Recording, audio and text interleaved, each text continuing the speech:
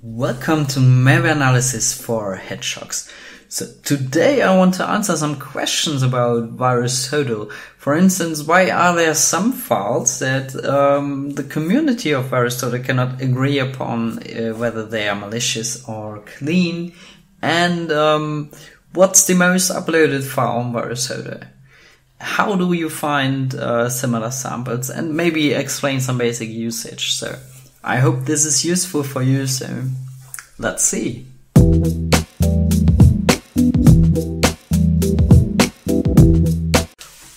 Alright, let's check out some files on VirusTotal, right? Um, the first one I want to look at is this one. Um, we see it's not detected uh, by any of the antivirus scanners. Firstly, there's this overview, like the uh, ones that detect the file are put on top, so you can always be sure if you see only undetected ones. Um, there, there's not uh, one detection like down below. Um, also, here's a summary that's saying, okay, no, uh, none of the antivirus scanners says it's malicious. So then there is a community score right down, uh, right underneath and the community score is overwhelmingly negative. What is this? Um, everyone who has a, an account on VirusTotal can uh, vote for the file. The X means you think it's malicious, and uh, the checkmark means you think it's clean, it's fine. If you check on the community tab and scroll down, you see the voting details. So these are people who voted uh, for or against this file. Um, a lot of them are uh, marked as anonymous. Anonymous was like a few years ago. Um, it was possible to vote without an account. So you have these anonymous votes that are like four years old in this case. And um, then there are people with an account, and some of them have a lot of voting power because if you go on a profile, click on trusted, um, and lots of people do that, uh, you will get more voting power. So that's how um, they want to ensure that only people who know what they're doing can um, that their opinion counts more, right? Yeah. Um, so what's happening? Why do all of these scanners not detect the file, but all of these people think it's malicious. Now, the first thing I do if none of the antivirus scanners detects anything is I check was this file submitted for the first time. And that's in the details tab history section. You see the date of first submission, and that's been more than 10 years ago. It's um, pretty much um, it's very, very, very unlikely that a file has gone unnoticed for more than 10 years um, and is malicious at the same time. So if you see something like that, even if the first submission is like a few months ago, um, you can be quite sure it's a clean file. People still think it's malicious. Um, the answer to that is because it's often related to executing malware. In this case, we have the Windows scripting host. We see here the signature information that's uh, this file is signed by Microsoft. It's a Microsoft file. You also see this here. File was published by Microsoft Corporation. Um, so you can be sure it's it's a valid file by Microsoft, and it's part of the operating system and uh, used to execute script files like um, VBScript or JScript. So that's why it's um, also seen as malicious by some people because sometimes this file will execute malicious scripts, but it's not malicious itself, right? Um, but the people don't know that, and the um, Windows scripting host might be um, might be additionally you know, dropped by malware to execute malware scripts. And then it may have a different name, like um, this one or this one. And in that case, if you find that in the temp folder and you know it has been executing malicious code, um, you know it's somehow related to your malware file, um, you might think it's malware as well. Yeah, the same can happen with, uh, for instance, Python exe. Um, but yeah, I think that's that's a good good thing to know here. Now the good thing is if you have something like WScript exe or Python exe or anything that may be used to execute malware, you can check out the relations tab to find new malware because here you see, ah, those are scripts that have been executed. And if you click on those scripts, um, like this one, you see it's, it's malware, right? Um, well, there are not that many detections, but you also see that the last time it was scanned was more than a year ago. So let's click on the rescan button and see uh, what happens. And there are more antivirus scanners detecting the fireware now because yeah, that's like the second date you need to check, I guess. um, if you have a file that's not detected much, check the date of the last uh, scan. And you may click the reanalyze button so you see um, if the file is detected by now. There are some more dates. Let's go back here. Um, you see quite a few dates here. What do these mean? Now, first submission, we talked about that. Uh, the reason I like to look at that one is it cannot be faked by uh, malware developers because like this is like the minimum time this file um, is old minimum. Um, you can also check out the creation time. Creation time is if you have a portable executable file. This is part of the, um, this is the compilation date that the compiler puts in there into the portable executable header. But this uh, can be wrong. So some compilers put in the wrong date and malware authors may just change the date. So um, the signature date, on the other hand, that's the date uh, when this file was signed. So we should see this reflected here as well. So that's the same one, right? Um, now yeah, last submission when was the uh, file uploaded the last time. Um, and by now you can, as we have seen, analyze the file uh, without uploading it if you just click this reanalyze button. And that's the last analysis date. So those are the dates, alright. Um, let's check out another file, right? Because um, this one is an actual malware, and I think that's interesting to see the behavior tab in VirusTotal. If you check this out, like lots of detections here say it's ransomware, and uh, the behavior tab will show you uh, files opened and written, and the files written. Oh, those those are ransom notes. Um, there are also two batch files now, lots of lots of ransom nodes. Now check out files deleted. The batch files have been deleted at some point, and here are files copied. Oh, that's weird. Does it have to do with C sharp? No, there's C++. Okay. If you click on the plus, you see where it's been copied to.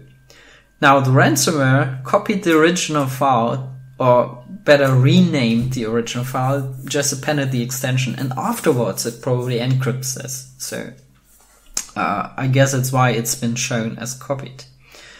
And um, then you can also see the processes. This is the original file, and it executed those batch files. So highlighted actions here in this case it shows us get tick count because this might be um, a way for the malware to detect that it's being run in a sandbox. So this might be interesting for us to know if it has sandbox detection and won't do much in the sandbox. Um, and uh, this has been highlighted uh, as highlighted text. The cmd.exe is being used to execute the batch file. So there we have this connection Okay, now let's take a look at this file. This is probably the most uploaded file to VirusTotal. And um, like I know a few years ago when I looked at this, like this was also in the red, the community score. Uh, if you check out the votes, you will see lots of people vote negative on this file, so they think it's malicious. Um, even some with a bit more reputation. It's not just the anonymous um, people. Like, um, so what's happening here? It's undetected. So again, let's check out the last, um, the first submission date, and it's pretty pretty old. Um, so it's most likely a clean file. And the names section will tell you what names were used um, while uploading the file. So what was the file name of it? And also here you see things that hint to um, it being malware. You see these, um, yeah, supposedly porno movies, um, which are um, which have a double extension. So it's a common trick to um, trick users into running malware. Um, there are lots of them, right? Uh, this seems to be quite malicious when you look at the names. But if you check out the file size here, it's zero bytes. It's a it's an empty file. Now, why is it the most uploaded file?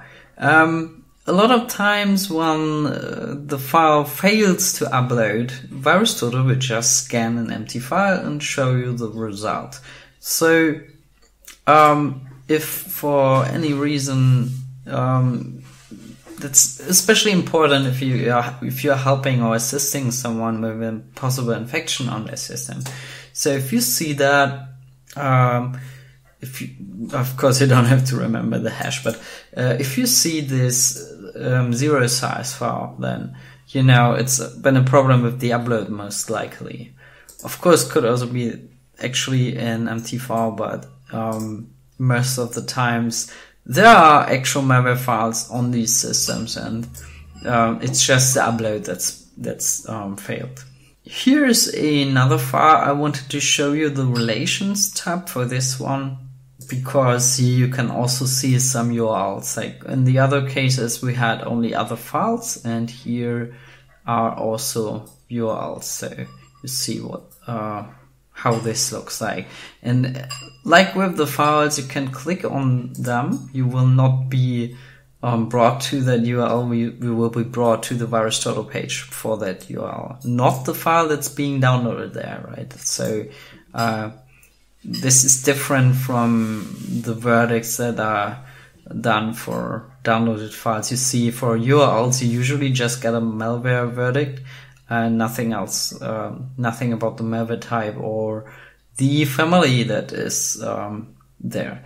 Uh, and in this case, we also see this URL has um, already been taken down. It's not available anymore because um, it's been reported as malware. So, okay, here's something else I would like to show you, and uh, that's the hashes and the details tab because I didn't explain them yet. So, um, the most important hash is probably this one because that's um, cryptographic hash and it's commonly used to refer to, to um, your sample. So um, most of the time, also uh, the other ones, MD5 and SHA-1, um, they might be used in malware reports to say, okay, this is the sample I was analyzing. So um, you will find these most often. But um, if you create reports, uh, I think you should use um, this one. Um, then the imp hash is a hash um, based on the imports of the file. The idea is that if two files have the same imp hash, they probably have the same behavior because they import the same um, functions and use the same Windows APIs, maybe. Um, so um, using the imp hash and searching by the imp hash may enable you to find similar samples. Um, then SSDeep. SSDeep is quite interesting for finding similar samples because this is um, a hash like uh, SHA-256. Um, if you will will change if you just change one byte, the whole hash will be different, right? But with SSD, um, if you change just a few bytes, the hash will still be mostly the same. Like maybe maybe one or two characters are different um, after those changes. So you can actually find files that are uh, similar using SSDeep. Here's a very good article about threat attribution using SSDeep, and it explains how how SSDeep works and um, also shows some examples and how you use the tool and explains like in general those uh, kind of hashes. Uh, they're called context triggered piecewise hashes. So um, yeah, check it out. I will put it in the description below. So in um, the um, the other parts of the basic properties, uh, those are just the file type and the magic number and the file size. Now you already know what the file size, why it's useful, right?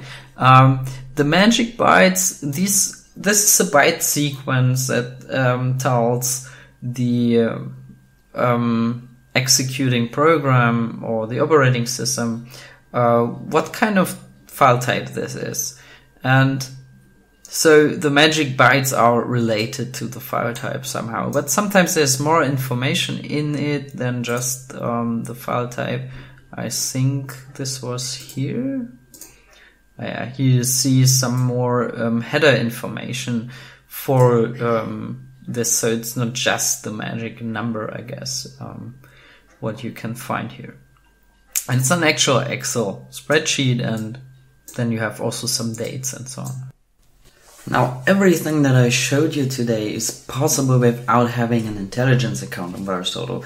Intelligence account is quite um, expensive. Most of the time, you only have access to it if you work for a company that pays for that. So, I I'm not sure how interesting this uh, an overview of that would be for you. So, um, yeah, if you have any questions, please put them down below and uh, I'd love to see you next time.